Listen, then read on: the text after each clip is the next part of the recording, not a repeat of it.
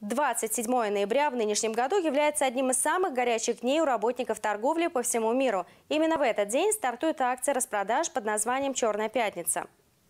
Но что это на самом деле? Действительно аукцион неслыханной щедрости или хитрый маркетинговый ход? Подробности у Романа Быкова.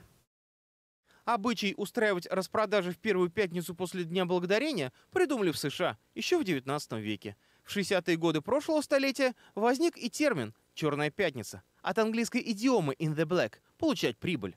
Считается, что в этот день магазины устраивают огромные скидки – до 80%. Правда, не стоит, конечно, думать, что считающий каждый цент американец вдруг решил раздать товар чуть ли не по себестоимости. Продавцы, они ориентируются на эффект масштаба, то есть за счет оборота. Конечно, они а, скидывают 50-70%, но надо понимать, что они не продают свою продукцию по себестоимости. Все равно, даже с учетом такой скидки, в эту, э, цену, в эту цену заложена, э, соответственно, уже определенная норма прибыли. В 2013 году эту идею подхватил и русский ритейл. Правда, тогда у нас «Черная пятница» состоялась на неделю позже, чем в остальном мире, 6 декабря. Однако в дальнейшем мы стали шагать в ногу со всей планеты. Правда, без российской специфики все равно не обошлось. Особенности национальной распродажи выглядят следующим образом.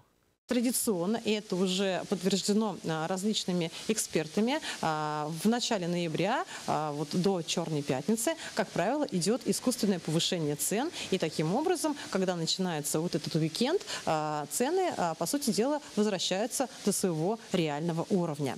Как бы то ни было, а Черная пятница уже стартовала. И продлится на самом деле не один, а три дня. В некоторых магазинах она идет неделями. Эксперты в этой связи дают гражданам ряд советов.